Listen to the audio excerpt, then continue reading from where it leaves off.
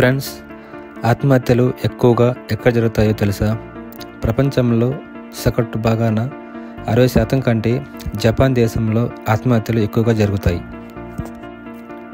యుఎస్ఏలో ఉతాన్ అనే రాష్ట్రంలో ఒక వ్యక్తి లైటర్తో స్పైడర్ని చంపడానికి ప్రయత్నిస్తున్నప్పుడు మిస్ఫైర్ అయ్యి మంటలు చెలరేగాయి. దగ్గర దగ్గర అరవై ఎకరాల అడవి భూమిని కాల్చివేశాడు. ప్రపంచంలోనే అతిపెద్ద నీలిరంధ్రం ఎక్కడుందో మీకు తెలుసా? ఇది ఒక పెద్ద డ్రాగన్ హోల్. ఇది మూడు వందల పాయింట్ ఎనభై తొమ్మిది మీటర్ల లోతును కలిగి ఉంటుంది. ఇది దక్షిణ చైనా సముద్రంలో ఉంది. పంతొమ్మిది వందల పన్నెండులో టైటానిక్ షిప్ మంచుకొండను ఢీకొని కూలిపోయింది కదా? ఆ టైటానిక్ షిప్ దాదాపు ఈ షిప్కి దగ్గరగా ఉంటుంది. ఫ్రెండ్స్ మీరు ఎప్పుడైనా తాబేలు నోటి లోపల భాగాన్ని చూసారా బయటికి చూడడానికి మృదుగా కనిపిస్తుంది. కానీ లోపల నోటి భాగంలో మాత్రం ఇలా ముళ్ళతో భయంకరంగా ఉంటుంది. ఫేస్బుక్ ఫౌండర్ అయిన మార్క్ జుకర్బర్గ్ తన డిగ్రీని అందుకున్నాడు. కానీ ఇతను డిగ్రీని పూర్తి చేయకముందే అతను ఒక మిలినియర్ అయ్యాడు.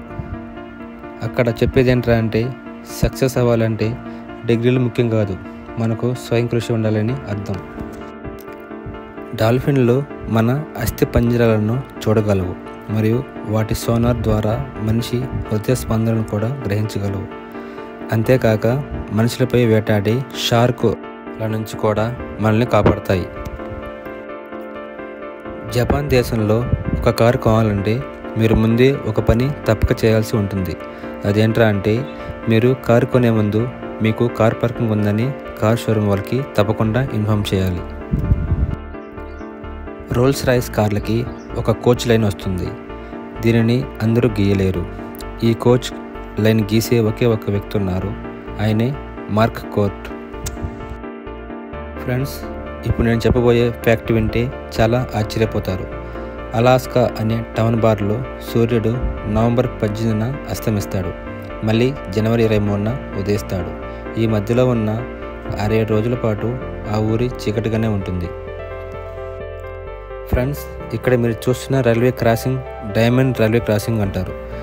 అలా ఎందుకని పిలుస్తారంటే ఉత్తరం నుండి దక్షిణకు మరియు తూర్పు నుండి పడమరకు కలిసే ప్రదేశం కాబట్టి దీన్ని డైమండ్ రైల్వే క్రాసింగ్ అంటారు. ఇది మహారాష్ట్రలో ఉంది. స్టీవ్ జాబ్స్ తన గ్యారేజ్లో మొట్టమొదటగా పంతొమ్మిది వందల డెబ్బై ఆరులో మొదటి యాపిల్ కంప్యూటర్ని తయారు చేశాడు.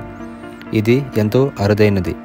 ఈ కంప్యూటర్లో ఈ కంప్యూటర్ని రెండు వేల పద్నాలుగులో వేలం వేయగా తొంభై లక్షల ఐదు వేలకి అమ్ముడుపోయింది. మరి స్టీవ్ జాబ్స్ వస్తువు అంటే ఆ మాత్రం ఉంటుంది కదా? మనం ఉపయోగించే ఫోన్లు ఊహించిన దానికంటే ఇంకా త్వరగా మన మరణానికి కారణమవుతాయి. దీనికి గల కారణం ఫోన్ నుంచి వచ్చే బ్లూరేస్ కాంతి. ఈ కాంతి వలన ముఖంపై ముడతలు తొందరగా వస్తాయి. మరియు వృద్ధాప్యం నిద్రలేని సమస్యలు కూడా కారణమవుతుంది. మొబైల్ని వీలైనంత తక్కువగా వాడటానికి ట్రై చేయండి. మనం ఈ భూమి మీద జీవిస్తున్నాం కదా కానీ భూమి ఒకసారిగా తిరగడం మానేస్తే మీరు సెకనుకు నాలుగు వందల అరవై ఐదు కిలోమీటర్ల వేగంతో తూర్పు వైపుకు ఎగిరి తక్షణమే చనిపోతారు.